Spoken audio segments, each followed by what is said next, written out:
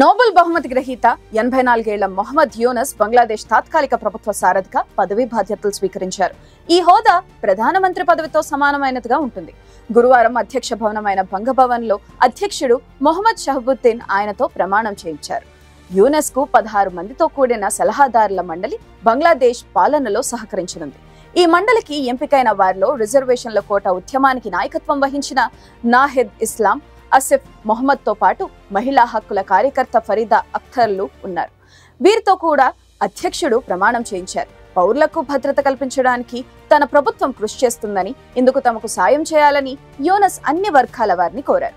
ఇదే సమయంలో ప్రాణాపాయ స్థితిలో మన దేశానికి చేరుకున్న మాజీ ప్రధాని షేక్ హసీనా మరో గుర్తు తెలియని దేశానికి వెళ్ళిపోయారు బంగ్లాదేశ్లో రిజర్వేషన్లకు వ్యతిరేకంగా జరిగిన ఆందోళనలు హింసాత్మకంగా మారడంతో షేక్ హసీనా పదవి పీఠం నుంచి దిగిపోయి కట్టుబొట్టలతో బంగ్లాదేశ్ వీడి భారత్ వచ్చారు.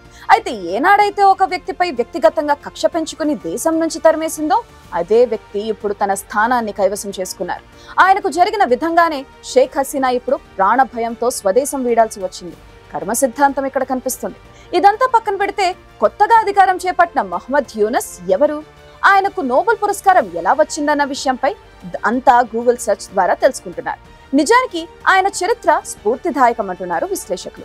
బంగ్లాదేశ్ ఇంటరం గవర్నమెంట్ కొత్త లీడర్ యూనస్ అంటే అట్టడుగు స్థాయి ప్రజలకు కూడా బాగా తెలుసు. ఆయన చేసిన కృషి వల్ల పేద నిరుపేద మహిళలకు మేలు జరిగింది. బ్యాంకులంటే తెలియని వారికి ఆయన గ్రామీణ బ్యాంక్ పేరుతో దారి చూపించారు. సెక్యూరిటీ అవసరం లేకుండా లోన్లు ఇచ్చే గ్రామీణ బ్యాంకుల వల్లే బంగ్లాదేశ్లో కుటీర పరిశ్రమలు చిన్న చిన్న వ్యాపారాలు ఇబ్బడి ముబ్బడిగా పెరిగాయి. ఎనిమిది పదుల వయసులో షేక్ హసీనాను విమర్శించే క్రిటిక్గా ఓ ప్రొఫెసర్గా మహమ్మద్ యూనస్ బంగ్లాదేశ్ పేద ప్రజల ఆదరణను పొందారు. ఆయన ప్రస్థానం చాలా ఆసక్తికరంగా ఉంటుంది. ఆయన పంతొమ్మిది వందల నలభైలో చిట్టోగ్రామ్ అనే సముద్ర తీర గ్రామంలో ఓ చిన్న కుటుంబంలో యూనస్ జన్మించారు. ఆయన ఎంఏ ఎకనామిక్స్ కోర్సును పూర్తి చేశాక పంతొమ్మిది వందల అరవై ఒకటిలో చిటగాంగ్లోని ఓ కాలేజీలో ఎకనామిక్స్ లెక్చరర్గా సేవలందించారు. పంతొమ్మిది వందల అరవై ఐదు సంవత్సరంలో యునెస్కో అమెరికాలో ఉన్నత విద్య కోసం ఫుల్ బ్రైట్ స్కాలర్షిప్ లభించింది. దీంతో ఆయన అమెరికాకు వెళ్ళి బాండర్బిల్స్ యూనివర్సిటీలో ఎకనామిక్స్ విభాగంలో పిహెచ్డి చేశారు పంతొమ్మిది వందల అరవై తొమ్మిది నుంచి పంతొమ్మిది వందల డెబ్బై రెండు వరకు మర్ఫ్రీస్ బోడోలో ఉన్న మెడల్ టెన్నెస్సీ స్టేట్ యూనివర్సిటీలో ఎకనామిక్స్ విభాగంలో అసిస్టెంట్ ప్రొఫెసర్గా యూనస్ సేవలందించారు.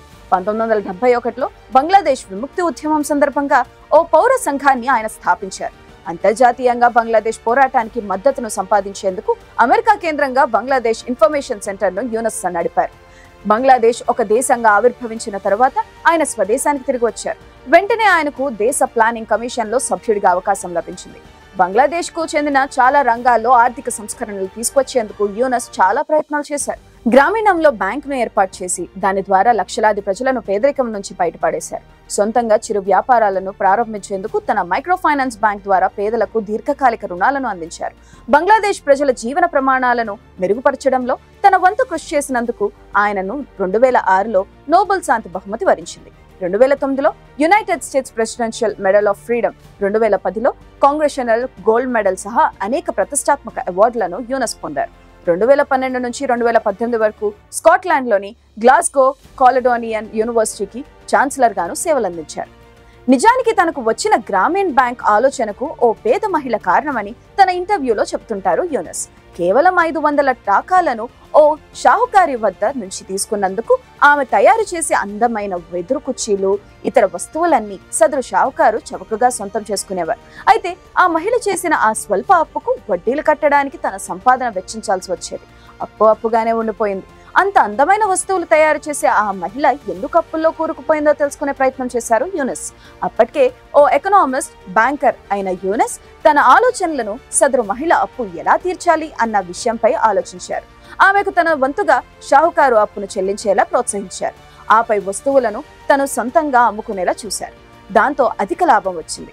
అయితే ఆ సమయంలో బంగ్లాదేశ్ గ్రామీణ ప్రాంతాల్లో ఆ మహిళల లాంటి వాళ్ళు లక్షల్లో ఉన్నారు. మొదట ఓ గ్రామంలోని మహిళలు అప్పులు తీర్చేలా చేయడంలో బ్యాంకుల సహకారం తీసుకుని పైలట్ ప్రాజెక్ట్గా సక్సెస్ సాధించారు యూనస్. ఆపై ఏకంగా మహిళల కోసం పంతొమ్మిది వందల ఎనభై మూడులో ఓ బ్యాంకునే స్థాపించారు. దాని పేరే గ్రామీణ్ బ్యాంక్. దాంతో బంగ్లాదేశ్లో సరికొత్త బ్యాంక్ విప్లవం మొదలైంది. అసలు బ్యాంక్ అంటేనే తెలియని గ్రామీణులకు లోన్లు తీసుకోవడం వాటిని బాధ్యతగా చెల్లించడం నేర్పించారు యూనస్. మిలియన్ల కొద్ది మహిళలకు సెక్యూరిటీ అవసరం లేని చిన్న చిన్న రుణాలు అందించారు. అది కాస్త దేశవ్యాప్తంగా విప్లవం సృష్టించింది.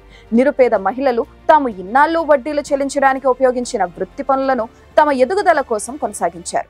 వ్యాపారంపై పట్టు సాధించారు. వారికి వస్తువులను అమ్ముకోవడం నేర్పించారు యునెస్. ఆయన ఐడియాతో ఏర్పడిన గ్రామీణ బ్యాంకులు ప్రపంచవ్యాప్త దేశాలకు మోడల్గా మారాయి. మన దేశంలోనూ గ్రామీణ బ్యాంకులు మంచి పేరు తెచ్చుకున్నాయి. అయితే బంగ్లాదేశ్లో ప్రొఫెసర్ యూనస్ నాటిన వ్యాపార విత్తనాలు చక్కగా నాటుకుని ఏపుగా ఎదిగాయి. వారి ప్రతిభ ఎంతలా ఉందంటే అక్కడ తయారయ్యే వస్తువులు దుస్తులు విదేశాలకు ఎగుమతి చేసే స్థాయికి మహిళలు చేరుకున్నారు. సమస్యలను పరిష్కరించుకోవడంలో అందమైన ఏకైక మార్గం వ్యాపారం అని యూనెస్ వారికి తరచూ చెప్పేవారు. దేశంలో తనకు పెరుగుతున్న ఆదరణను చూసి రెండు వేల ఏడులో ఆయన తనదంటూ ఓ పార్టీని కూడా స్థాపించేందుకు ప్రయత్నించారు. మంచి ఫలితాలు సాధిస్తున్న గ్రామీణ బ్యాంకుకు ఎక్స్టెన్షన్గా అదనంగా నార్వేజియన్ టెలికాం కంపెనీ సహకారంతో గ్రామీణ టెలికాం వ్యాపారం మొదలుపెట్టారు. అది కూడా సూపర్ డూపర్ హిట్ అయింది. దేశంలోని అతిపెద్ద మొబైల్ ఫోన్ కంపెనీగా ఎదిగింది. గ్రామీణ్ ఫోన్ అని ఇప్పటికీ బంగ్లాదేశ్లో దానికి మంచి పాపులారిటీ ఉంది. అయితే అప్పటికే బంగ్లాదేశ్లో యూనస్ ఎదుగుదలను చూసి ఓర్వలేని బంగ్లాదేశ్ ప్రధాని షేక్ హసీనా రెండు వేల ఎనిమిదిలో ఆయనపై అనేక ఆరోపణలు చేస్తూ తప్పుడు కేసులు బనాయించారు. దేశంలో బ్యాంకులు పేద మహిళలను లోన్ రిపేమెంట్ విషయంలో దారుణంగా వేధిస్తున్నారని ఆరోపించారు. గ్రామీణ బ్యాంకులో రుణాలు తీసుకుని చెల్లించలేని పేద మహిళలపై దాళ్ళు జరుగుతున్నాయని కలెక్షన్ పేరుతో మహిళల రక్తం పీలుస్తున్నారని విమర్శించారు. ఆయనపై పలు ఆరోపణలు చేస్తూ విచారణకు ఆదేశించారు. అయితే షేక్ హసీనా ఆరోపణలను యూనస్ ఎప్పటికప్పుడు ఖండిస్తూ వచ్చారు. తాను చేసిన కృషి వల్లనే మహిళలు ఎదుగుతున్నారని తమ గ్రామీణ బ్యాంక్ మోడల్ను ప్రపంచవ్యాప్త దేశాలు పాటిస్తున్నాయని చెప్పే ప్రయత్నం చేశారు. కానీ హసీనాకు ఈ మాటలు అస్సలు రుచించలేదు. అందుకే ఎప్పటికప్పుడు కొత్త ఆరోపణలతో యూనస్ ఎదగకుండా అరెస్టులు చేసి అణిచివేయాలని చూశారు. ఈ నిర్బంధం రెండు వేల పదమూడు వరకు కొనసాగింది. ప్రభుత్వం వెంటబడి వేధిస్తున్నా ఆయన తన పంథా మార్చుకోలేదు. అయితే బంగ్లాదేశ్లో ఉండలేక విదేశాలకు తరలిపోయారు. ఇప్పుడు షేక్ హసీనా గద్దె దిగిన తరువాత విద్యార్థుల కోరికపై తిరిగి స్వదేశానికి వచ్చారు. ఇది బంగ్లాదేశ్కు మరోసారి స్వాతంత్రం రావడం లాంటిదేనని యూనెస్ అన్నారు. బంగ్లాదేశ్ ఓ కొత్త శకంలోకి అడుగు పెడుతున్న వేళ మళ్ళీ పాత రోజులు రావద్దని నోబెల్ బహుమతి గ్రహీత యూనెస్ ఆకాంక్షించారు.